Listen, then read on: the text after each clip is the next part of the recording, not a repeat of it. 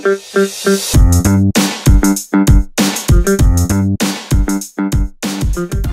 Hallo und herzlich willkommen zu einem neuen Video. In diesem Video geht es mal wieder um den Amazon Echo. Genauer gesagt geht es um ein Skill, was vieles, vieles im Alltag erleichtern soll. Nämlich es geht darum, wie man seinen Router, sein WLAN-Netzwerk und so weiter per Sprachbefehl steuern kann, die Einstellungen abfragen kann, ändern kann und so weiter. All das wollen wir uns jetzt gleich einmal anschauen. Wie immer an dieser Stelle die Bitte an euch, falls ihr mich hier auf YouTube noch nicht abonniert habt, lasst ein Abo da. Es gibt mehrfach die Woche alle News aus der Technik und Smart Home Branche zusammen zusammengefasst für euch, Reviews und so weiter von den neuesten Trends natürlich auch, wie ihr das von mir gewohnt seid, mehrfach die Woche als Video. Ja, das ist ein großes Thema, wirklich Fernsteuerung eines Routers. Viele, viele haben mich das gefragt, insbesondere nachdem ich letztens noch das Orbi-System von Netgear vorgestellt habe. Für alle, die es noch nicht gesehen haben, guckt euch das Video auf jeden Fall an.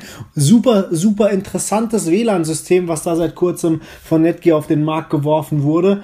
Ähm, es ist wirklich eine Verknüpfung, die Netgear-Router beziehungsweise alle Besitzer von Netgear-Routern um einiges erleichtern kann. Ähm, bisher war es ja möglich, sage ich mal, die Routereinstellung wirklich ganz normal ähm, durch eine App oder auch durch den Internetbrowser vorzunehmen. Das war immer so ein bisschen kompliziert. Man musste sich einloggen, man musste verschiedene Parameter dann freischalten.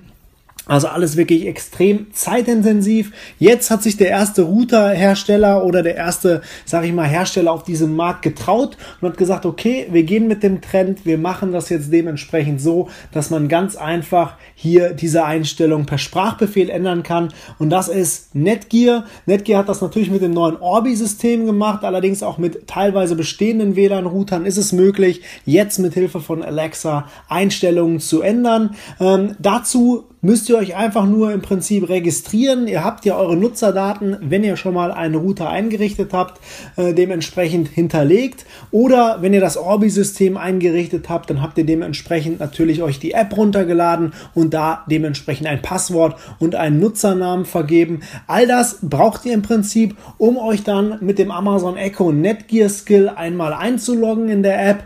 Ähm, dann seid ihr im Prinzip schon verknüpft. Äh, ihr werdet noch gebeten, euch einmal die Netgear Genie App runterzuladen. Dort müsst ihr einmal einfach nur den Fernsteuerungszugriff freischalten und dann kann es auch schon losgehen. Netgear verspricht dann, dass man zum Beispiel den Router neu starten kann mit Hilfe von dem Amazon Echo. Dementsprechend kann man natürlich ähm, das Ganze super, super einfach verwenden. Was man dann natürlich äh, beachten muss, ist, wenn man den Router neu startet, funktioniert das Amazon Echo auch erstmal einen äh, Moment nicht, aber es kann durchaus nützlich sein, falls es Probleme gibt mit einem Router ähm, dass man es so regelt, solange das natürlich mit Amazon Echo noch funktioniert. Ansonsten grenzwertige Situation. Viel besser sind dann die Funktionen einmal die WLAN-Einstellungen abzurufen und dann dementsprechend auch ein Gastnetzwerk freizuschalten, weil das waren bisher immer so Sachen, ja, man hatte immer so ein Gastnetzwerk nebenher laufen. Hier kann man es wirklich nur dann freischalten, wenn man es braucht und so natürlich dementsprechend viel mehr Potenzial auch nutzen. Wie das Ganze funktioniert, wenn man alles verknüpft hat, was eine sehr, sehr schnelle Geschichte ist. Bei mir hat es in etwa 10 Minuten gedauert. Ähm, das zeige ich euch jetzt einmal und dann schauen wir uns doch mal an, was noch so alles möglich ist. Alexa, starte Netgear. Willkommen. Netgear Skill hilft Ihnen bei der Konfiguration Ihres Netgear-Routers oder Orbi WLAN-Systems. Hier sind einige der Befehle, die Sie geben können. Aktiviere das Gastnetzwerk. Starte den Router neu. Wie lauten meine WLAN-Einstellungen? Sagen Sie schließen, um die Sitzung zu schließen. Was kann ich für Sie tun?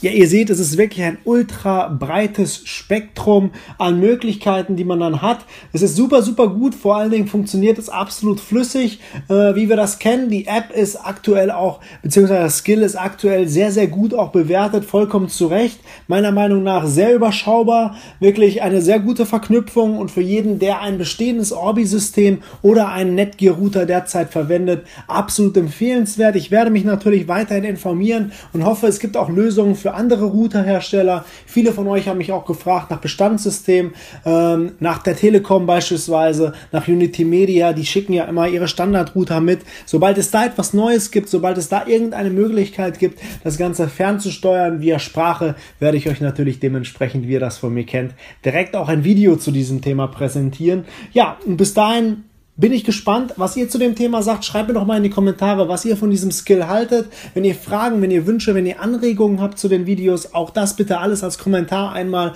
ähm, unter dieses Video posten. Dementsprechend, wie ihr das von mir kennt, gehe ich einmal auf alle eure Kommentare ein und werde dann gegebenenfalls zu dem einen oder anderen Kommentar noch ein extra Video posten, in dem ich euch dann eure Frage einmal erkläre. Bis dahin hoffe ich, es hat euch gefallen. Wie gesagt, wenn es euch gefallen hat, lasst ein Abo da, mehrfach die Woche alle News aus der Smart Home und und Technikbranche von mir, ähm, alle Reviews und so weiter, auch zu euren Fragen natürlich dementsprechend. In den nächsten Videos geht es weiter mit Konrad Connect. Wir werden wieder verschiedene Smart Home Geräte miteinander intelligent verknüpfen, werden die Formeln von Konrad Connect verwenden, sodass man sich das ein oder andere Smart Home Gerät vielleicht auch sparen kann in der Anschaffung und dementsprechend intelligent auch wirklich super Systeme auf die Beine stellen kann. Und dann gibt es noch vieles, vieles mehr diese Woche. Ich freue mich drauf. Vielen, vielen Dank fürs Zuschauen. Wie gesagt, ich hoffe, es hat euch gefallen. Bis dahin dahin wünsche euch viel, viel Spaß mit der Technik und freue mich auf das nächste Video mit euch. Macht's gut, Leute. Bis zum nächsten Video. Ciao.